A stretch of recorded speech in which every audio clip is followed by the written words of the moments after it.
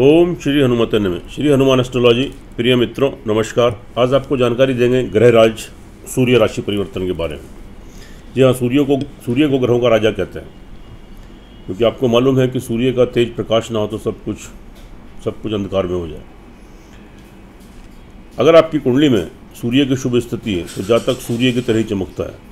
Name, fame, प्रसिद्धि, यश, मान, उच्च पद की प्राप्ति देश विदेशों में ख्याति प्राप्त इम्पोर्टेंस अहमियत, उसका प्राकर्म, उसकी प्रसिद्धि बहुत बढ़ती है। और अगर आपकी जन्म कुंडली में सूर्य की अशुभ स्थिति है तो बहुत पुरुषार्थ, बहुत मेहनत, बहुत प्रयत्न करने के बाद और अच्छा सोचना अच्छा करना हर किसी के लिए तो भी समय समय पर आपको अपयश का भागीदार होना पड़ता है और उतना नेम फेम आपको नहीं मिल पाता। तो सूर्य की शुभ स्थिति होना आपकी कुंडली में आपकी नेम फेम प्रसिद्धि के लिए बहुत इम्पोर्टेंट होता है। अब यह सूर्य का जो राशि परिवर्तन है, यह आपका 16 अगस्त को रात को एक बजकर पच्चीस मिनट पर यह आपका अपनी स्वग्रही सिंह राशि में संचार करेगा। और आज चर्चा करेंगे, धनु राशि वाले जातकों के ऊपर यह सूर्य जो राशि परिवर्तन है, इसका क्या शुभाशुभ प्रभाव रहेगा, इसकी आपको जानकारी देंगे। अगर आपको अपनी चंद राशि नहीं मालूम है तो मित्रों आप इसको अपनी प्रचलित नाम राशि से भी देख सकते हैं। और अगर आप मेरे चैनल पर नए हैं तो उसको सब्सक्राइब करें, बेल आइकन बटन ज़रूर दबाएँ, शेयर करें। वीडियो अच्छी लगे कमेंट बॉक्स में जाए, लिखें जय श्री राम, जय श्री हनुमान। बात करते हैं धनु राशि वाले जातकों के लिए। यहाँ पर जो शुक्र तो जो आपका सूर्य का ट्रांजिट हुआ है, ये आपका मूल त्रिकोण भाग्य स्थान में हुआ है, नवम स्थान में। और यह स्वग्रही राशि में है। हालाँकि नवम सूर्य अच्छा फल नहीं देते, लेकिन आपकी स्वग्रही मूल त्रिकोण राशि में है, इसलिए यह स्वग्रही होने के कारण यह आपको यहाँ पर शुभ फलों की प्राप्ति कराएँगे। आपको भाग्य उन्नति के अवसर मिलेंगे। आपके पिता का भरपूर सहयोग, आशीर्वाद आपको प्राप्त होगा, लेकिन उनके स्वास्थ्य का ध्यान रखें, उनका आशीर्वाद बनाए रखें, उनसे सलाह मशवरा करके इस समय अगर आप कोई निर्णय लेते हैं, कोई कार्य करते हैं, निश्चित रूप से आपको सफलता मिलेगी और आप तरक्की, उन्नति करेंगे। विदेश से संबंधित अगर कोई व्यवधान, दिक्कतें आ रही थी, वह दूर होंगी, आपकी लंबी दूर पार की यात्राएँ आपके संपन्न होंगी स्पिरिचुअलिटी का भाव बनेगा, भगवान की ब्लेसिंग आशीर्वाद बनेगा और यहाँ लाभ, तरक्की, उन्नति, पिता का सहयोग, लेकिन थोड़ा उनके स्वास्थ्य का ध्यान रखें। थोड़ी उनकी सेवा करें, उनका आशीर्वाद पर का जब प्राप्त करें। चूँकि सूर्य का सीधा संबंध आत्मा का कारक होता है और पिता से इसका सीधा संबंध होता है।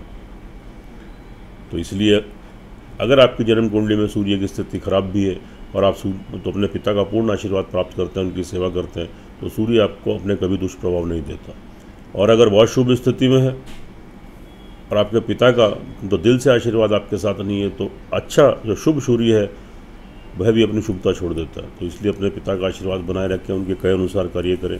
यहाँ आपको तर, तो, तो तरक्की उन्नति का अवसर मिलेंगे। अब इनकी सप्तम भाव पर जो दृष्टि पड़ रही है थर्ड हाउस पर पड़ रही है। वहाँ देवगुरु बृहस्पति भी संचार कर रहे हैं। आपके पराक्रम में सेल्फ कॉन्फिडेंस में वृद्धि होगी आपका नेम फेम आपका बढ़ेगा। और आपका थोड़ा यहाँ पर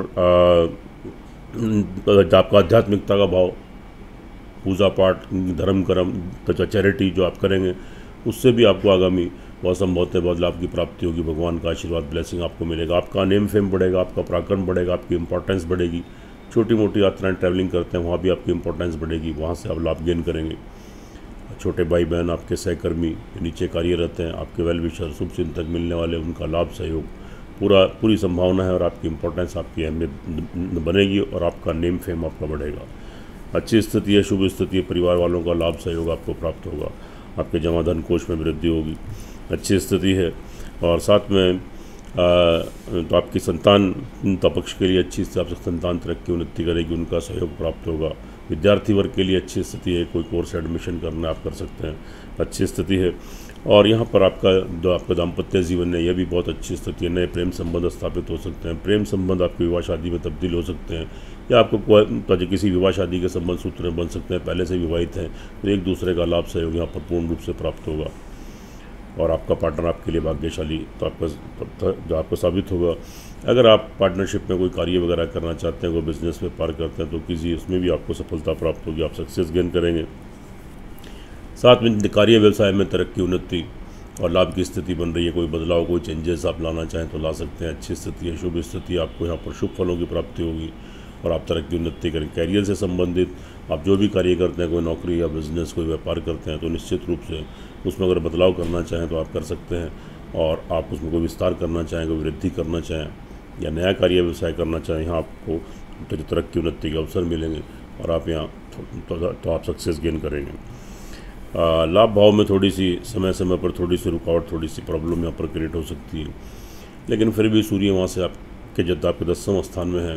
तो, तो तो उसके बाद स्थिति आपकी नॉर्मल भी हो जाएगी और बीच बीच में बड़े धन की प्राप्ति बड़े भाई बहन जो आपके तो मित्र वर्ग हैं उनसे लाभ सहयोग की संभावना बनी रहेगी। शारीरिक मानसिक संतुलन आपका ठीक रहेगा। आप अपने धैर्य सास के बल पर निर्णय लेकर जो कार्य करेंगे उसमें आपको सफलता प्राप्त होगी। लेकिन अपनी माता जी और पिताजी की थोड़ा हेल्थ का थोड़ा ध्यान रखिए उनकी सेवा कीजिए उनका पूर्ण आशीर्वाद प्राप्त करें। घर में थोड़ा सा अशांति का माहौल बन सकता है सुख संसाधनों में कमी आ सकती है। भूमि मकान वाहन प्रॉपर्टी का अगर कोई निर्णय आप लेते हैं कोई योजना है मकान खरीदने की या नए मकान में प्रवेश की या वाहन लाने की या कोई संपत्ति की तो उसमें जल्दबाजी मत करें। बहुत सोच सोच समझ कर शुभ तिथि और शुभ मुहूर्त में इस कार्य को करें। ऑल ओवर देखें तो यहाँ पर नौकरी पक्ष वालों के लिए भी स्थिति ऑल ओवर ठीक रहेगी। थोड़ा उतार चढ़ाव रहेगा, थोड़ा मिश्रित फल तो रहेंगे, लेकिन फिर भी स्थिति आपके अनुकूल पक्ष में बनेगी तरक्की, उन्नति के अवसर रहेंगे। शत्रु वर्ग थोड़ा परेशान कर सकता है लेकिन बहुत चिंतित होने की आवश्यकता नहीं, आपका वर्चस्व बना रहेगा। थोड़ा ऋण और रोग की स्थिति भी उत्पन्न हो सकती है तो किसी भी कर्जा लेने से बचें, नहीं तो आगामी थोड़ी परेशानी हो सकती है। ऑल ओवर अगर देखें तो यहाँ पर धनु राशि वाले जातकों के ऊपर, अगर आपकी जन्म कुंडली के अंदर आपके और ग्रहों की दशांत दशा आपके पक्ष में फेवर में चल रही है तो यहाँ सूर्य का जो ट्रांजिट है, जो परिवर्तन है, ये आपको उन्नति तरक्की का अवसर देगा, आप लाभ गेन करेंगे। और अगर आपकी जन्म कुंडली के अंदर स्थिति आप तो ग्रहों की प्रतिकूल चल रही है, आप तो अशुभ स्थिति में नहीं है तो इसके 10 बीस, तीस प्रतिशत तक फल आपको देखने को मिलेंगे। इसलिए एक बार अपनी जन्म कुंडली का जन्म कुंडली का सर्वाधिक महत्व होता है। इस तो ये ये जो फलादेश है, चंद्र राशि पर आधारित है, इसका भी अपना महत्व है। लेकिन जन्म कुंडली का भी एक बार विश्लेषण ज़रूर करा लें, उसका सर्वाधिक महत्व होता है। जब दोनों चीज़ों का एनालिसिस होता है, उनका विश्लेषण होता है उनका अवलोकन होता है तो आपको शत प्रतिशत परिणाम देखने को मिलते हैं। उससे आप लाभ गेन करते हैं। तरक्की उन्नति करते हैं, आपका मार्गदर्शन होता है और छोटे छोटे उपाय करने से आप ग्रहों के दुष्प्रभाव से बचते हैं। सुखी रहें, स्वस्थ रहें, हँसते रहें, मुस्कुराते रहें। जय श्री राम, जय श्री